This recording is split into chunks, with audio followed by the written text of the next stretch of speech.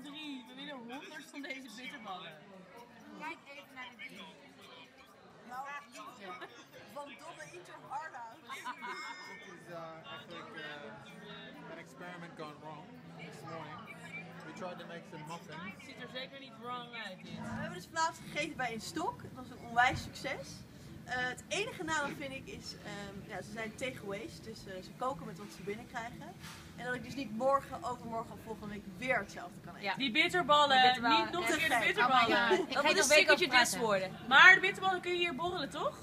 Ja. We hebben 217 extra gemaakt. Dus, we gaan dus